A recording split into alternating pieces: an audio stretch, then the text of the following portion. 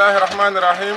İHA İnsani Yardım Vakfı su kuyusu açılışları için Afrika'nın Mali ülkesinde Kumanto şehrine 12 kilometre uzaklıktaki Bablenavara koyundayız. Bu koyda 90 hane ve yaklaşık 700 kişi bulunuyor. 7 Kasım 2018 Cuma günü Yusuf Sami Kiz Anadolu İmam Hatip Lisesi su kuyusu Siber, Siberek Şanlıurfa su kuyusuna hizmet açıyoruz.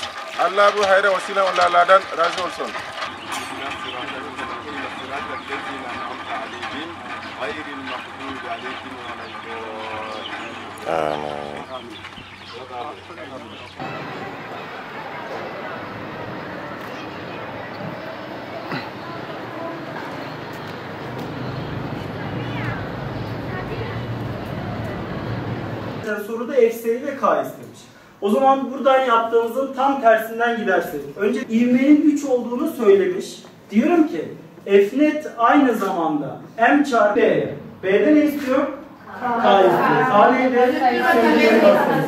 O zaman formül eşittir. 14 bölü 20'den 7 bölü 10. Arkadaşlar şıklarda şunu yazmanızı ister. Bu da kaçtır? 0,7. Birim var mı? Yok. Tüm-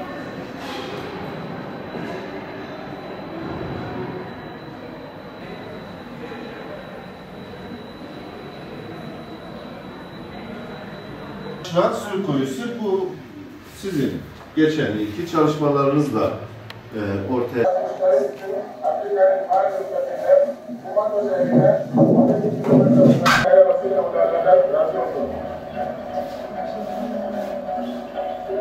sıkıntısını biraz daha olsun e, bir el atmak için, gidermek için e, kendimize e, yemeklerden, böreklerden, pastalardan çeşitli yiyecekler sunduk insanlara. Bölgede e, bir gün su kesintisinde bile duyduğumuz rezillik göz önünde mesela bir bulaşık Arkadaşlarla konuştuk, taşındık. Ne yapabiliriz bunun hakkında? Çünkü Afrika'da gerçekten susuz kalmış insanlar var. Susuzluğdan öyle ölen insanlar var. Banyo yapamıyorlar.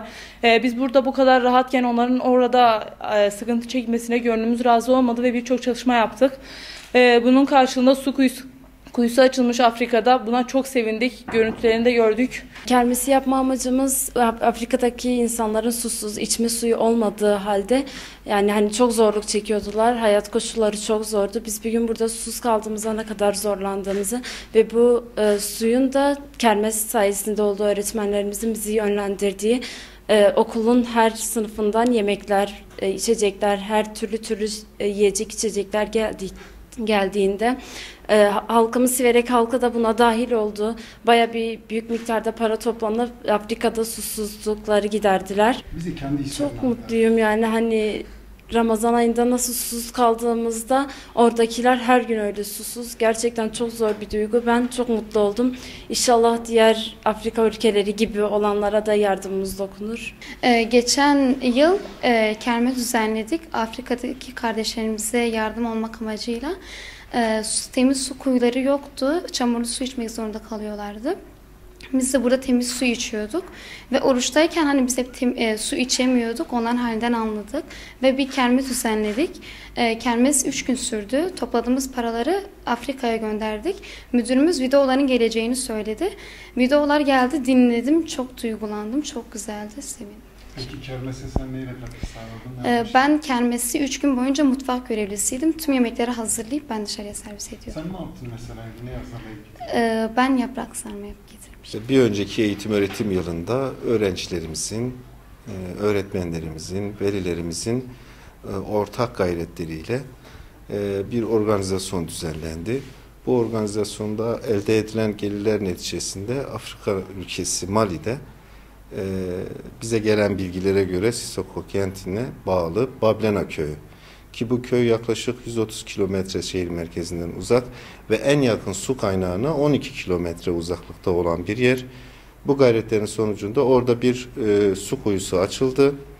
E, oradaki insanlar temiz su, e, sağlıklı suya kavuşabildiler.